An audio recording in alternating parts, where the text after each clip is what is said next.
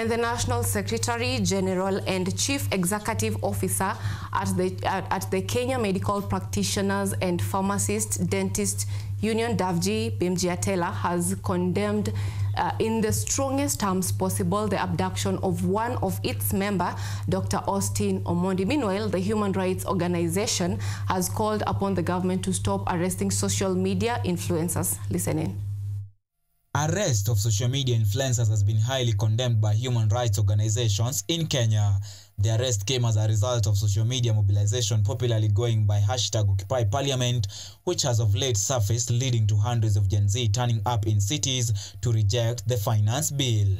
In a report by National Secretary General and Chief Executive Officer at Kenya Medical Practitioners, Pharmacists and Dentists Union Davji Himji suspected government agency in a car with registration place KCU 819 of abducting Dr. Austin Omondi. According to Davji reports, he was being held at DCI headquarters along Kiambu Road. Dr. Austin last evening reported that strange people have been calling him and issuing death threats to him due to his involvement with the Medics for Kenya activities, where young medics have been offering free medical aid and leading in blood donation drive to help injured protesters. Good afternoon, Kenyans. We are here at the Sikh Union where Dr. Austin was captured outside by three men in Maasai Shukas. The team that was collecting blood, as you can see, is just leaving because they are out of manpower and timings. So if you're still in the mood of donating, we are taking the donation center to Pumwani National to Pumwani Hospital right now, and there are a few volunteers who we are gathering to go to Pumwani.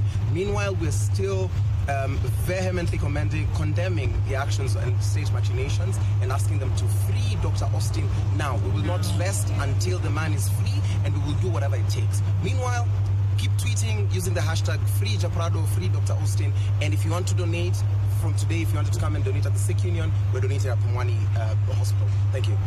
Amnesty-led human rights organizations Kenya has demanded that social media influencers who have been arrested be released. In a statement endorsed by Kenya Medical Association, the Defendants Coalition and others, Amnesty declared that they would fight against these.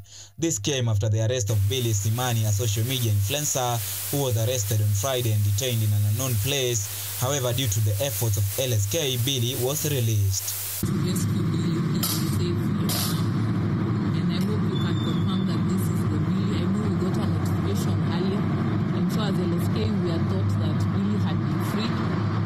When we sent someone to the station, we found that Billy was not there. It had not been released. And so the moment we got a tip off, we ran immediately to try and find Billy. So this I'm safe. Thanks everyone. Uh, thanks to LSK for coming